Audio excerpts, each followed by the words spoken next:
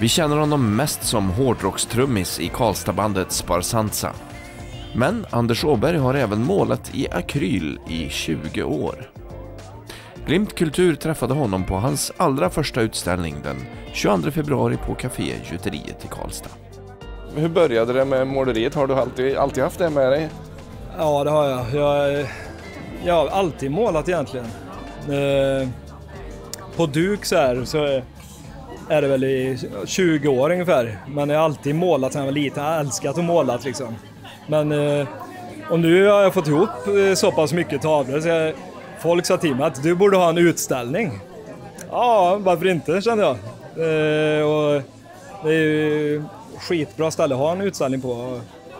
Jag är jättenöjd med mina tavlor så att det är jättekul att det kom så mycket folk. Det är jätteroligt. Så det är väl inte sista gången. Vad, vad, vad, vad säger du om motiven då? Hur, hur skulle du vilja beskriva dem? Uh,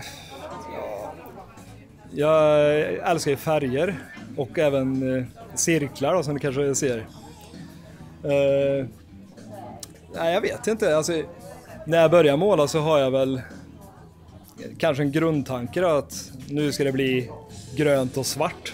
Och så börjar jag och sen så blir det som det blir. Och jag känner att det finns ju liksom inga regler.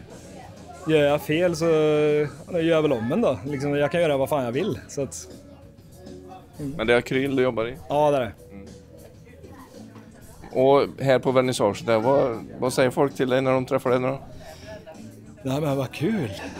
ja, ja men typ. Så att eh, alla är jätteglada och nöjda och tycker att det är jättefint. Så, ja, jag blir stolt. Det är jättekul. Säger de någonting om bilderna i specifikt så? Ja, de frågar en del frågar vad har du rökt? Men, eh, men eh, nej det har jag inte. Utan jag, det är väl bara sån stil jag kör liksom. Så att, eh, ja. Väldigt kreativ, både trummis och, och, och konstnär nu då. ja, jag har hört det. Jag är tydligen det. Jag har inte tänkt på det själv men väldigt vad kulturell jag blev.